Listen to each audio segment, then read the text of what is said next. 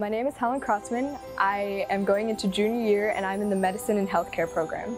I liked it a lot because we actually went to the Northwestern Hospital before and we practiced suturing on little um, like dummy skin patches, I guess.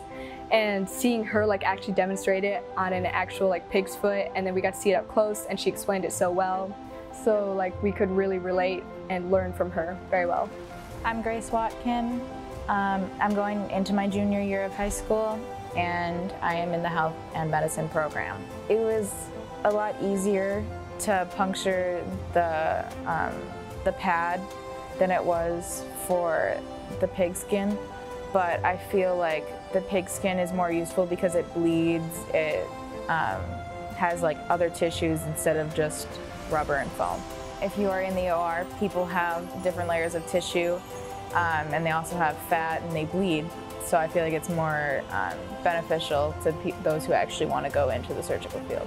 I'm Zach Bray. Um, I'm in the medicine and health program and I'm going into my senior year of high school. She like definitely has the skills needed to do all of that and like definitely I can see her like teaching and mentoring students and I like that because I've had like lots of lectures in my past where just like they don't have that communication skills but she had it and it just made everything like I understood everything a lot better because she had those communication skills.